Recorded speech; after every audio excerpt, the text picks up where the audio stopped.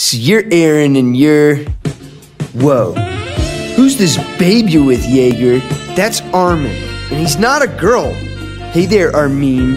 So what do you like to do? I like to read. Uh, okay.